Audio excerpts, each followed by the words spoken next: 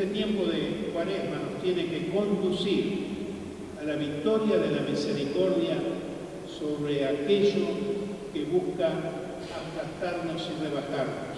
La misericordia es el camino que Dios nos ha mostrado a lo largo de toda su existencia, especialmente en Jesús, que muere en la cruz por todos nosotros, misericordiosamente por todos, sin excepción. También nos dice el Santo Padre que es un tiempo de esperanza, porque dice Francisco, nos hemos acostumbrado a respirar un aire cargado de falta de esperanza. Y eso es cierto, especialmente nosotros los cristianos. Muchas veces nos plantamos y ya no hay nada que hacer, ¿para qué me voy a preocupar?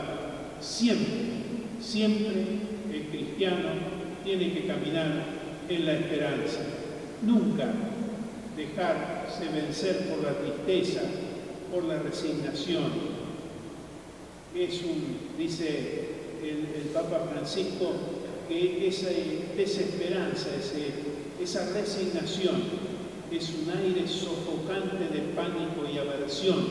Es decir, ¿cómo vamos a entusiasmar a otros a abrazar la cruz de Cristo si nosotros estamos apesadumbrados y sin esperanza? Por eso, queridos hermanos, muchas veces nosotros también, y lo dice el Papa Francisco, tenemos la tendencia de aislarnos. Como perdemos la esperanza, queremos que ya nada tiene solución, nos aislamos.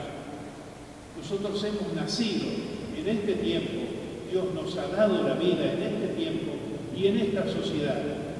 Y esa es la sociedad, ese es tiempo en que nosotros tenemos que dar testimonio.